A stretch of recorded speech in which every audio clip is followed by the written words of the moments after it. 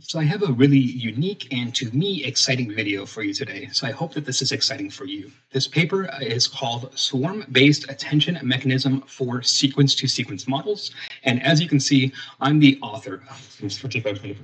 And so diving into this very specifically, what I have done here is I have created a attention mechanism, a swarm-based attention mechanism specifically for seq-to-seq models or encoder-decoder models.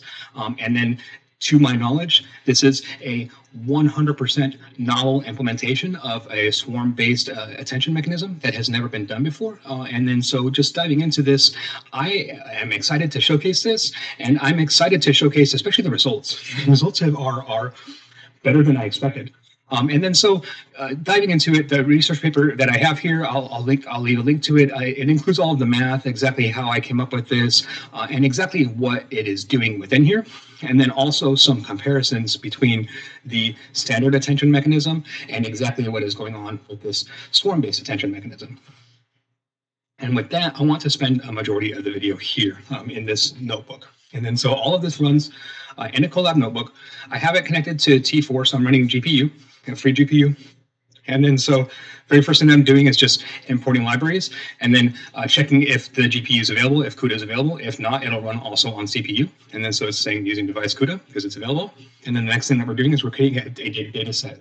And then so this is going to create a thousand link data set and it's just random numbers. Like that's all it's doing. Like we're creating a, a random, like a, uh, like a random matrix of numbers of a thousand numbers and then we're going to define our swarm attention class.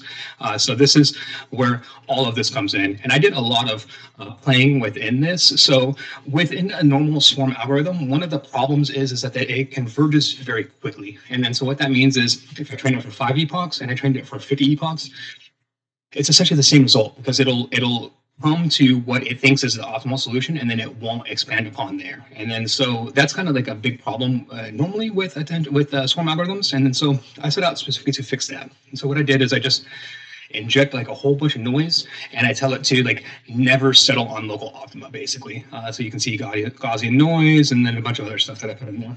That's all that, all that i do to make sure that it's not hitting that uh, problem that is common with swarm algorithms and then we have to define our encoder and our decoder, which are very straightforward, right? So these are just a uh, standard like uh, optimizer and standard uh, your standard um, uh, encoder and decoder mechanisms.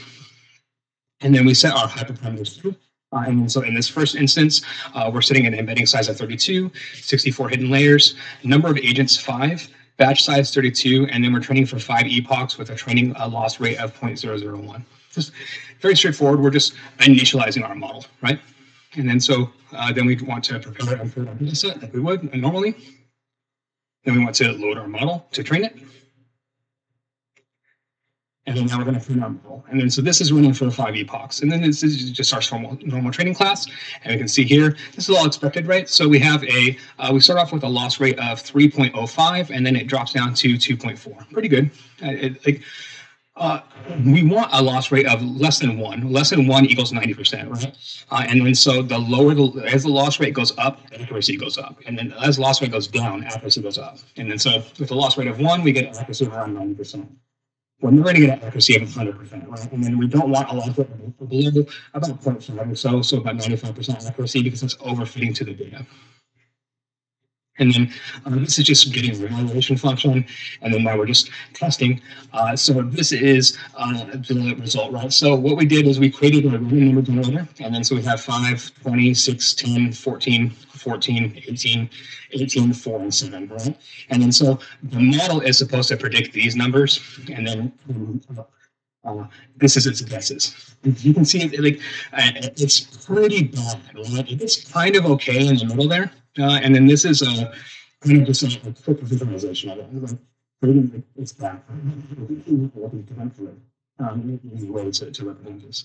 And then so let's go back up here. And then so how we adjust this, right? And then just showcasing this is we adjust these parameters here. So I'm gonna put number of agents 50 and put number of epochs 50. And then uh, why not? I'm just gonna, you know, generate a new data set I don't have to run all the sequence again because it's breaking, but I will. So because it takes a second. This one added. And now let's run. And then, so this is going to run for 50 epochs as opposed to five. So this is going to run a lot longer, but not a whole lot longer, right? So 3.05, and then it's going down. And then the first, first thing I want to showcase is how quickly these epochs are going through as opposed to a standard attention mechanism. If you're familiar with the standard attention mechanisms, you would not, not be expecting these epochs to be flying through like this. and then uh, we can see our loss rate is converging, right? We've just hit below 0.9, uh, below 0.1, uh, and then and so we're going to end up around like 0.75 or so. So like this is going to be a really good loss rate. Um, and then so let's see what happens uh, as a result. Uh, we, again, we changed two things within this, right? So let's like take a look. This is really garbage, right? Uh, and then like let's update. Just, uh, and we can see this is a whole lot closer. Uh, just with that, those two things, all of a sudden, our chart and our graph looks amazingly better, right? But we can improve upon this even further. we can we like uh, we can get this better. How can we do this? We can drop this loss rate even lower, and then we can put 500 agents in there, and then we can increase this to 128. And we can increase this to 64, because why not? And so let's run these.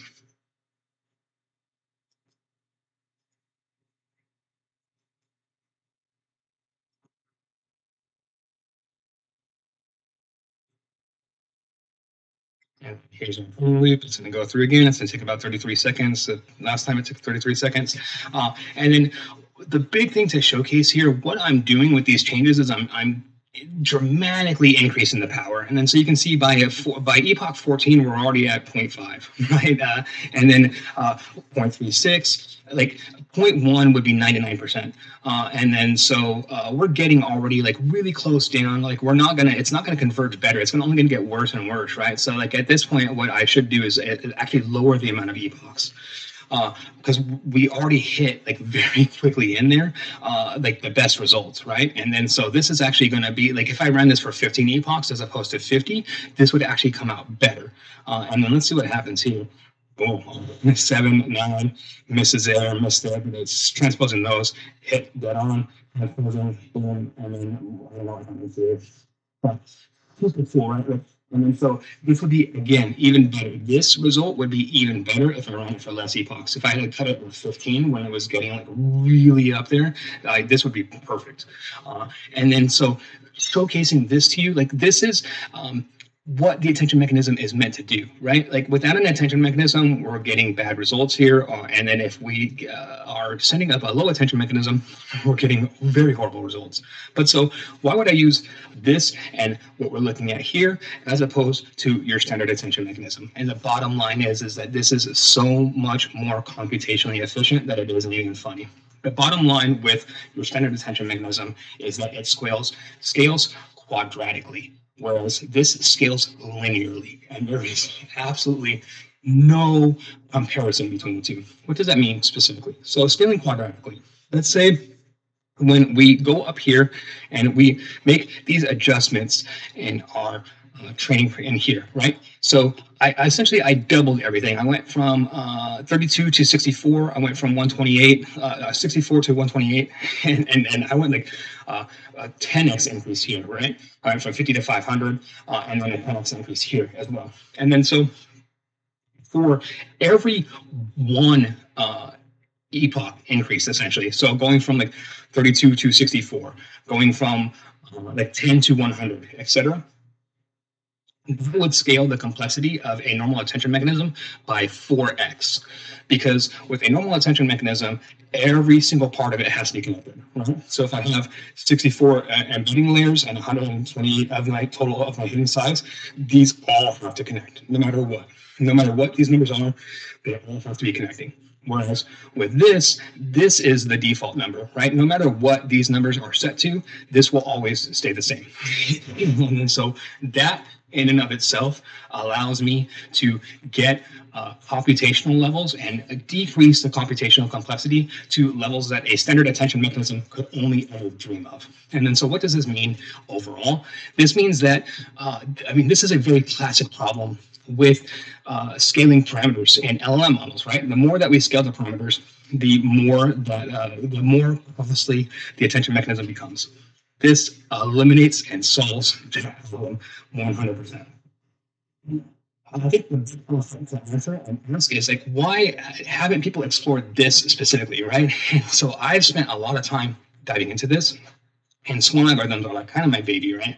Uh, and there's a reason behind all of that. And I think a reason behind why this hasn't been explored. So when swarm algorithms were in their heyday, this was the uh, mid 90s to early 2000s. And to put it quite bluntly, computers sucked then. they were not uh, a running a computer running a swarm algorithm on a computer from the mid 90s to the mid 2000s is completely different than running it on a computer today and uh, I can break it down into a simplistic term for you. So let's say that uh, your CPU or your GPU is a giant cube. And just we'll say it's uh, a 64 by 64 cube, and that's your GPU or your CPU, right? And then so for any computer in the mid 90s to early 2000s, it would always be a block, like you, just one one huge block, and there'd be no way to to split that cube up. But in modern computers, what I can do is take that big cube and I can make it 16 smaller cubes, 32 smaller cubes, 64 smaller cubes, 128 smaller cubes, whatever the size of the cubes that I need. And they all combine to form that same big cube, but I can break the cube up, which is a dramatic difference in compute power and what you can do and how these swarm algorithms operate. Uh, they were like a novelty in the in the 90s and the 2000s because I couldn't do this. And then so I think that I mean to me, you th- that's the heyday, right? People figure out you can do this, and then there's a lot of limitations, and then so people just start abandoning swarm algorithms, swarm-based algorithms, and abandon all of this for a long time. And then all of a sudden we figure out that we can just scale up the complexity of parameters. But now we're back here, right? And then so I go back here, and I go back to this, uh, and then I mean all I have to do is couple this with modern advancements, and uh, I'm having a field day. And so uh, I'll leave a link to this this uh, notebook, to the research paper, and everything associated with it. Just showcasing and documenting this. I mean, this is if you understand what's going on here. Like I can't break it down any more simplistically than this. You know, you're getting the full benefits of an attention mechanism uh, without having to scale, scale quadratically. So, like this solves the, to me, the biggest problem, uh, mathematical problem that we're faced with in today, and it's solved and you're looking at it. So if that is this content, please like and subscribe. Thank you very much.